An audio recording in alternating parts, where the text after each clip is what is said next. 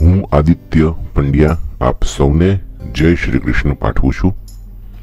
મિત્રો, રૂની ગાસડીમાં ગઈકાલે ખાંડીએ તેત્રીસો રૂપિયાથી ચોત્રીસો રૂપિયાનો કડાકો બોલાઈને ભાવ સત્તાવન હજાર રૂપિયા થઈ ગયા અને એ અકલ્પનીય હતા.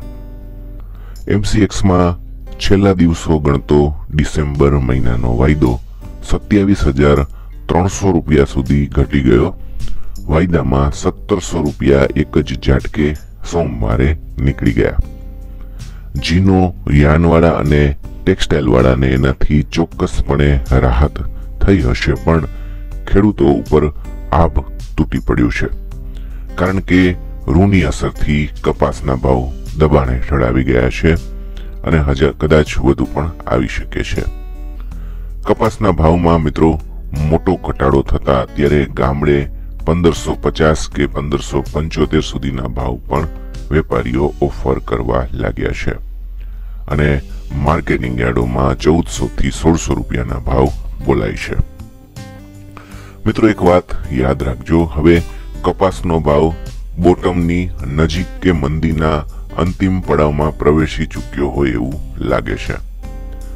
અલબત્ત, ગાસડીના ભાવમાં જેટલો ઘટાડો થયો છે એના કરતા કપાસ ઓછો ઘટ્યો છે એટલે કદાચ હજુ એક કે બે દિવસ સુધી કપાસના ભાવમાં નરમાઈ રહી શકે છે. પણ ઋણા ભાવ એકાએક કેમ આટલા બધા ઘટી ગયા અને હવે શું થાય એ સૌથી મોટો સવાલ ખેડૂતોને થઈ રહ્યો છે. એટલે એના વિશે આ વિડીયોની અંદર ચર્ચા કરવાની છે. મિત્રો રૂની ગાંસડી શા માટે ઘટી ગઈ એ સમજવા જેવું છે. એના માટે વાયદાનું કારણ મોટું છે. વિદેશી બજાર ગઈકાલે બંધ હતી માત્ર ભારતીય વાયદો ચાલુ હતો. એમસીએક્સનો વાયદો ત્રીસમી ડિસેમ્બરે પૂરો થવાનો છે અને જાન્યુઆરી વાયદો ક્યારે શરૂ થશે એની કોઈ જાહેરાત થતી નથી. ટેકનિકલ કારણસર વાયદાનું લોન્ચિંગ મોડું ને મોડું થઈ રહ્યું છે. હજુ પણ એ જાહેરાત નથી થઈ, પણ ગમે ત્યારે એની જાહેરાત થાય એવી શક્યતા છે. પણ કદાચ ત્રીસમી ડિસેમ્બર સુધીમાં જાહેરાત ન થાય, તો વાયદા બજારની અંદર અત્યારે જે ચાલુ વાયદો છે, એની અંદર પોઝિશનો ઊભી છે. એમાં ડિલિવરી લેવી પડે અથવા ડિલિવરી આપવી પડે એવી સ્થિતિ સર્જાય. અને એ માટે કદાચ કોઈ તૈયાર નથી. એટલે પોઝિશનોને સ્ક્વેર ઓફ કરવામાં આવી. એટલે કે જે પોઝિશન હોય એને વેચીને સેટલ કરવામાં આવી. અને વાયદા બજારમાં એના કારણે ભારે વેચવાલી નીકળી અને હાજર બજાર પણ એની સાથે તૂટી ગઈ. મિત્રો, કપાસ અને રૂ બજારમાં આ ઘટાડો આવશે અપેક્ષિત હતું.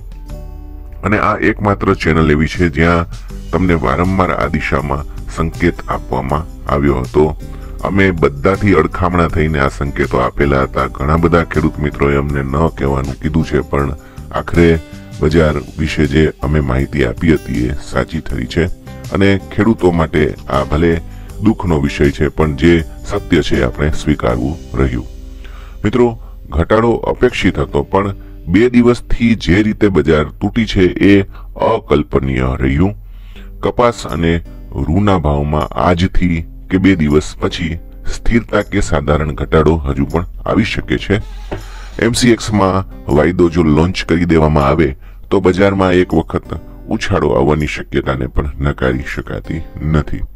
પણ હવે એટલું ચોક્કસ કહી શકાય કે ભારતીય ભાવ મોટે ભાગે વૈશ્વિક બજારની સાથે કે લગોલગ આવવા માટે નજીક આવી ગયા છે અથવા તો તૈયાર થઈ ગયા છે. સવાલ મિત્રો એ થાય કે કપાસ અને રૂમાં હવે તેજી ક્યારે થાય? તો મિત્રો અત્યારે વૈશ્વિક ભાવ ભારતનો જે છે એ હવે હરીફાયુક્ત બનવાની નજીક છે અથવા તો બની ચૂક્યો છે એટલે રાહત છે. પણ સુધારા માટે માગ નીકળે એ જરૂરી છે. કારણ કે અત્યારે આપણે એક સપાટીએ આવી જવા તૈયાર થઈ ગયા છીએ. હવે વિદેશી બજાર અને આપણી બજાર વચ્ચે ફરક બહુ નથી રહેતો. કેટલો ફરક છે એ આપણે હજી અભ્યાસ નથી કર્યો, એ જોવાનું બાકી છે. પણ અહીંથી તેજી કરવી હોય તો માગ વધે એ કારણ મહત્વનું છે અને બીજું કારણ ન્યુયોર્ક વાયદાનું છે. ન્યુયોર્ક વાયદામાં જો હવે આજે કે કાલે ખુલતામાં તેજી થાય તો ભારતીય બજારમાં સુધારો આવવાની શક્યતા વધી જશે. એટલે સુધારો પણ એવો હોય કે જે મંદીને અટકાવે. એ માટે બે ચાર દિવસ મિત્રો પસાર કરવા જરૂરી છે. વાયદો ચાલુ થવાની જાહેરાત જો આજકાલમાં થઈ જાય, તો બજારને અત્યારે મંદીના માહોલમાં ટેકો મળી પણ શકે છે. મિત્રો, ગયા સપ્તાહમાં ચીને અમેરિકાથી આશરે એક પોઈન્ટ ચુમ્માલીસ લાખ ગાંસડીના આયાતના સોદા રદ કર્યા. એ પછી ઘણા લોકો એના ઉપર શંકા કરી રહ્યા છે. ચીનમાં કોરોનાના કેસ ખૂબ છે, લોકડાઉન જેવી સ્થિતિ છે, એટલે ત્યાં માંગ ઘટી છે. તો એની સામે ઘણા મિત્રો એવી દલીલ કરે છે કે ચીનમાં બધી બિઝનેસની પ્રવૃત્તિઓ ચાલુ છે. મિત્રો, એ વાત બધી સાચી છે, પણ કોટનના મામલે એવું નથી. કારણ કે જો ત્યાં ચાલુ હોત, તો ચીન સૌથી વધારે વિશ્વમાં કપાસની આયાત કરે છે. તો એને આવી રીતે સોદા રદ ન કરવા પડે. ટૂંકામાં અત્યારે જે સોદા રદ થયા છે, જે અગાઉ પણ થયેલા હતા, પણ એ ઓછા હતા એ જોતા અત્યારે ત્યાં આગળ બહુ પરિસ્થિતિ સારી નથી એવો સંકેત તો આપણને મળી શકે છે. બે કે ત્રણ મહિના પછી ત્યાં શું પરિસ્થિતિ હશે એ કોઈ નથી જાણતું. અને ચીન ફરી ધમધમે અને ખરીદીમાં આવે તો નિકાસમાં વધારો પણ થઈ શકે. એ બાબત કોઈના હાથમાં નથી. અને હવે ત્યાં વળી લુનારની રજાઓ પણ આવવાની છે એટલે ચીનની માગમાં હાલ કોઈ મોટો ઉછાળો આવી જાય એવું લાગતું નથી. કદાચ આવી જાય તો તે આકસ્મિક હોઈ શકે. એનાથી તમે ઉલટું વિચારો કે કોવિડના કેસ દુનિયાભરમાં વધે તો શું થાય?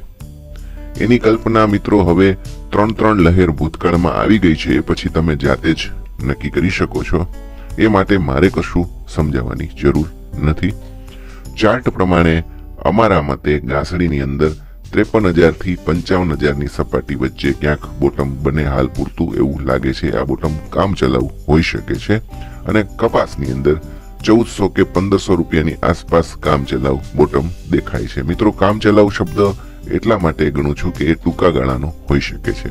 પછી આગળ શું થાય એ બજારમાં નવા કોઈ કારણો આવે એના આધારે નક્કી થાય. ખેડૂતોને અત્યારે એક જ સલાહ કે બજારની અંદર અત્યારે ભારે ખાના ખરાબી થઈ છે.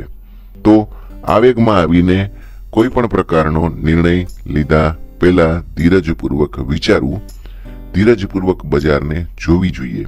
જેમ બે હજારના ભાવ મેળવવા માટે તમે બજારને જોતા હતા, એવી જ ધીરજની કદાચ અત્યારે ફરીથી જરૂર પડી શકે છે. જય શ્રી કૃષ્ણ.